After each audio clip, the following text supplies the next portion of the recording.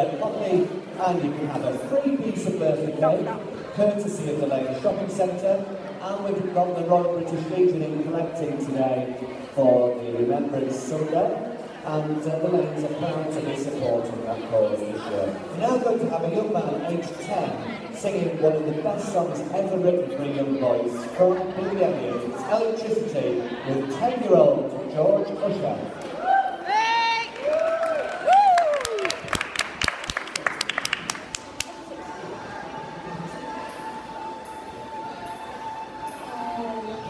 Thank you.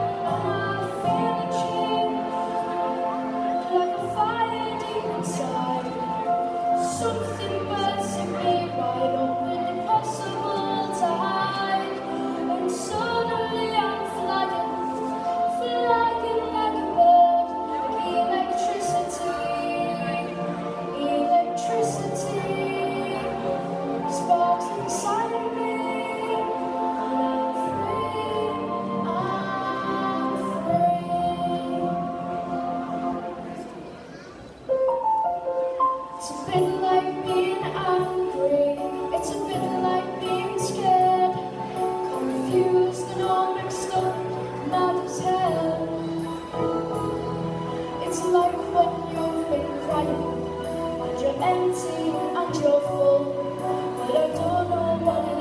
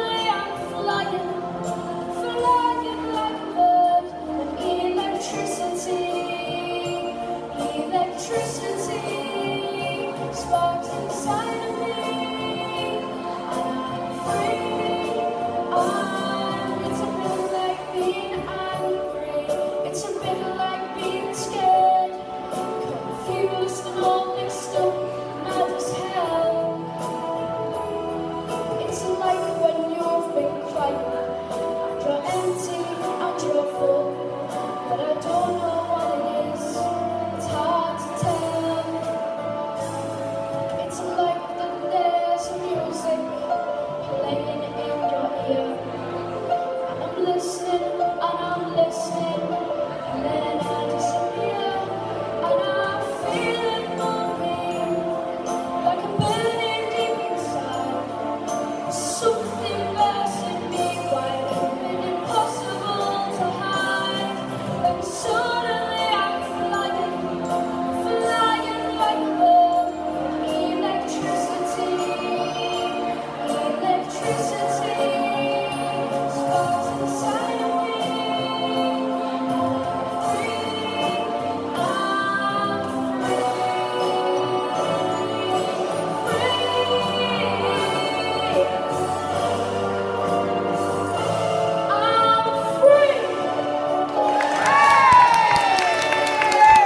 Thank you.